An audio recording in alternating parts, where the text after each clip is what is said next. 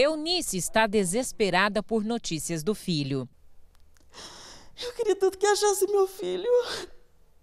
É porque eu tô com meu coração muito apertado.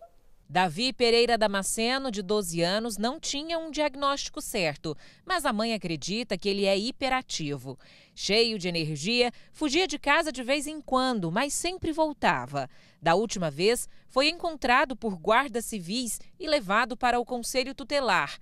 De lá, foi encaminhado para um abrigo em Aparecida de Goiânia. Depois de alguns dias no abrigo, o Davi conseguiu fugir de novo. Ele colocou lençol e algumas roupas dentro de uma mochila e pulou o muro. 15 dias já se passaram e até agora a família não teve mais nenhuma notícia dele. Ele é um menino muito inocente, porque ele, se uma pessoa falar assim, Davi, vamos fazer isso, ele faz.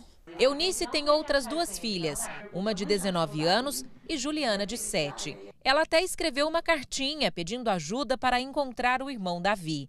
Toda a família está abalada e precisa de ajuda.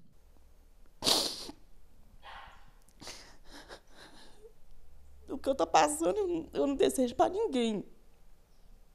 Não é fácil você pensar que não saber onde seu filho está, né? Não saber se ele já comeu, se ele já banhou, né?